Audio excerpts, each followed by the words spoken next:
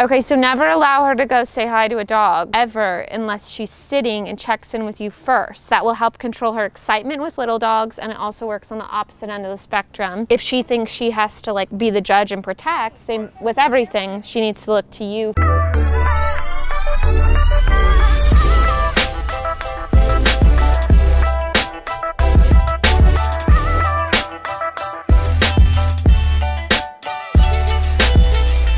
Don't let her go. So now just find a spot where she'll relax. She probably won't settle until the dog goes out of sight, which is okay. But always when that happens, do not resume your walk until she chills. Otherwise, she's gonna be set off by the next thing even more. So make her work through it. Okay, it's gone. I would go down to her, shorten the leash, so she's forced to literally be there. Yes, there we go. Now do it down after something like that happens. So she does that with big dogs. Has she ever gone up to them when she's doing that? And is she super excited or is it like when nippy? She up to them, she cowers down. Oh, it's like a protective thing. Okay, so never allow her to go say hi to a dog ever unless she's sitting and checks in with you first. That will help control her excitement with little dogs and it also works on the opposite end of the spectrum of if she thinks she has to like be the judge and protect, same with everything, she needs to look to you first. So if you see a big dog, it's not a bad thing to cross the street and get her attention there. You have to figure out what her threshold is of where you can get her attention when that other dog is near and then we'll work to decrease it. So basically step one is calling her.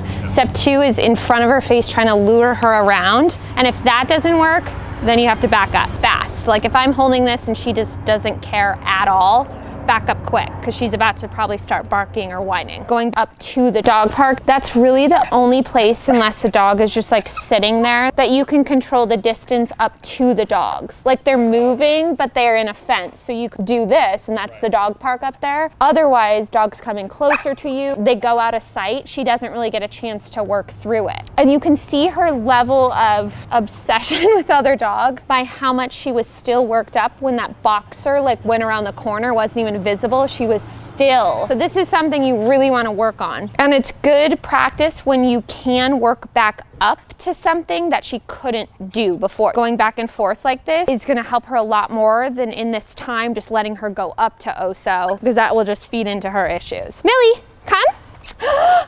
yes, Mill, that was a good one. Yes, Mill.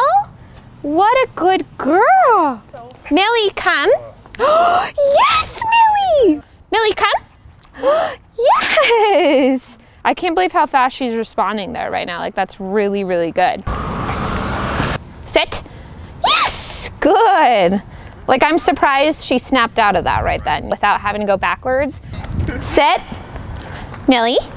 Yes. good, Millie. Like down. She does. That's good though. Most dogs fight it outside, so the more she lays down out here, the better. Millie, down.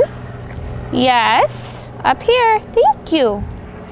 Good. Like this is the ultimate form of self-control when she can look at a dog and just like look away, look to you on her own, you know, being like, how do I get there? Oh, this is how, on her own. Yes. Just like that. Yes! That's when you know you can definitely move forward. So like this would be a better socialization for her. Obviously, you wouldn't have this amount of time to work up, but if you got this close to a dog, neighbor was that patient. yeah. it'd be great. It will take, it will be shorter and I'll bring another dog next time so we can do it again.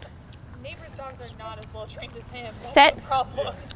The dog park idea is a really good idea. you Yeah. can- you can Just the know that though, because the dogs are moving, you might end, I don't know, 100 feet away from the dog park. Like you might not Right. get all the way up, but that's because it's a more challenging thing. Down.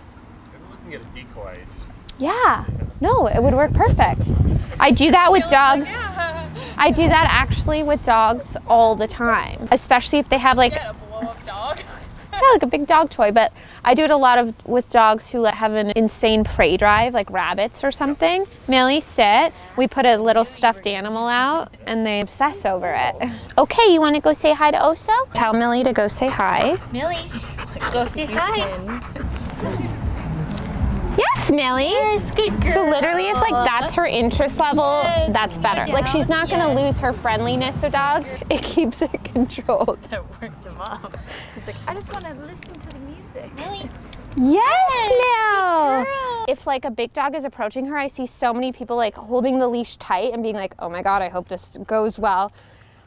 Just be getting her focus because if she's focused on you while this dog is doing something crazy, see like that, it could have gone bad if her focus is on him. Go say hi. Yes.